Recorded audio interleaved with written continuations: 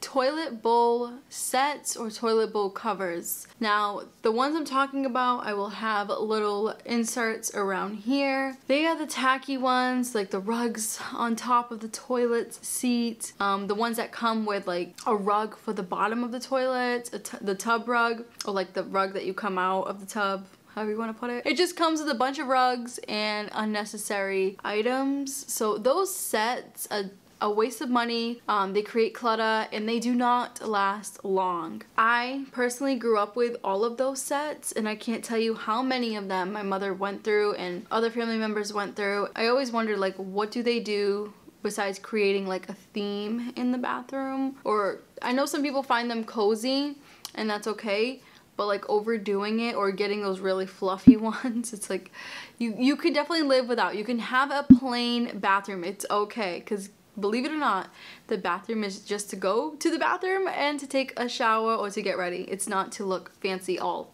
the time or it's not to look fancy at all, to be honest with you. So those toilet bowl covers, trust me, you can live without them.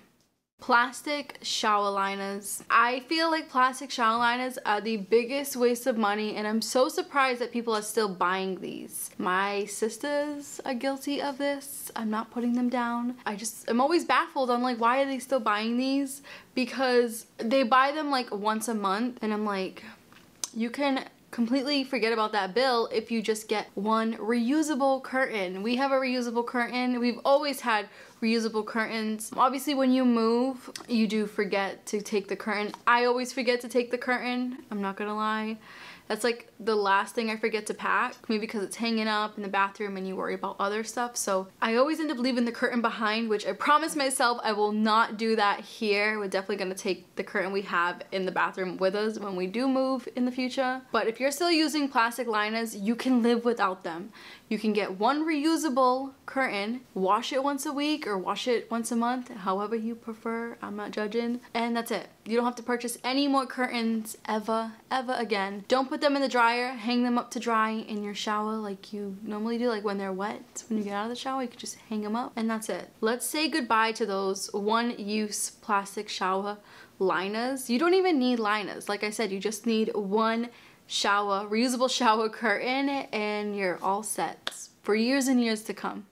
Fancy organizing containers. I mean, I want I would like to blame YouTube and Pinterest on this one. I fell into this trap when I had my first apartment. I purchased these bamboo containers. I purchased them from Ikea. I went out my way to go to Ikea to get these because I seen another minimalist YouTuber have them and I only have one bamboo thing left and I use it for tea bags. The other ones I gave away because I had no use for them. You don't really need to store everything in your bathroom and you don't need to store everything in fancy containers. If you get pasta sauce or if you get any kind of sauce or seasoning and it comes in a glass mason jar, save the mason jars. Reuse those instead of going out and purchasing these fancy organization containers for the bathroom. You don't need to be wasting your money on items like this and like this is unnecessary. Stick with things that are free. You'll thank yourself later. Your wallet will thank you as well. And just remember that your house in your life does not have to look like a magazine. Your bathroom does not need to look perfect. You don't need to use a bunch of fancy organizers like other people are using. Let them waste their money and let you save your money. Decor slash theme. This is a big one because I feel like a lot of people go out their way to do a theme, not just in their house, but in their bathroom. I myself grew up with the moon and the sun theme. Um, I believe my mom still has that theme right now. I also grew up with killer whale themes. I grew up with so many freaking themes for the bathroom and I always used to think to myself, like, why not just have the bathroom like a color? Because the thing with themes is that you get sick of them like this. When it comes to a certain color, it's not as tiring to the eyes. It's very simple, basic, it's very pleasing, I should say, to the eye. It's more pleasing, less distracting than a theme. Now, if you do prefer themes for a bathroom or even for your house, less is more. You don't need to have a seashell theme and you need to have seashell curtains, towels, a seashell on your sink, a seashell on your toilet. You don't need any of that, okay? You can do a seashell curtain and maybe get some eggshell towels so it all like so it all goes together but you're not overpowered by a theme in the bathroom just go with a basic color for your bathroom it's less distracting you're gonna save yourself some money and like I said before the bathroom is just to get ready and to go to the bathroom. So yeah.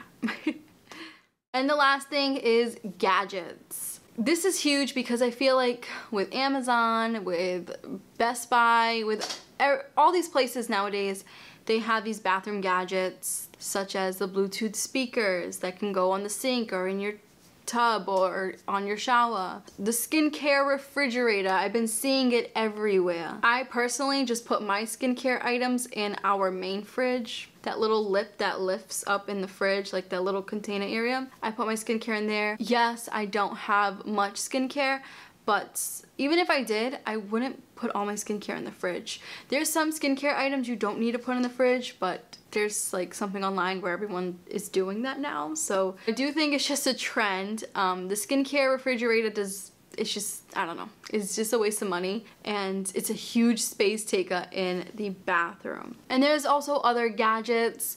There's aromatherapy little machines. Um, I believe there's like a lot of facial gadgets that people are keeping in their bathrooms. Like, I mean, I was guilty of having jade rollers and stuff and then the minute I dropped them, they shattered. But those things I would keep in the bathroom on the sink and it just clutters everything up. So you really don't need all those gadgets. You can live without the gadgets. Um, you can live without the skincare refrigerator. For the Bluetooth speaker, I honestly just use my phone. And sometimes I use the bathroom, like when I take a shower and stuff, I use it as peace and quiet time in the bathroom. But of course, we are all different. As much as I love music, I don't go out my way to purchase a Bluetooth for the bathroom. I'll just use my phone, honestly. It's less money spent and less clutter in the house. So keep it basic with gadgets less is more when it comes to those because I'm telling you, they're just not worth it, especially for the bathroom. There's other things that you could spend your money on that are 10 times better. Or you could just save your money instead of spending it. Anyways, I really hope you guys enjoyed this video. Let me know down below if you would like me to continue this series. I can go towards the kitchen area, the living room, the bedroom. Just let me know down below. I would gladly do those rooms of things that you can live without slash things you don't really need. So I hope you guys enjoyed and I will catch you in the next video.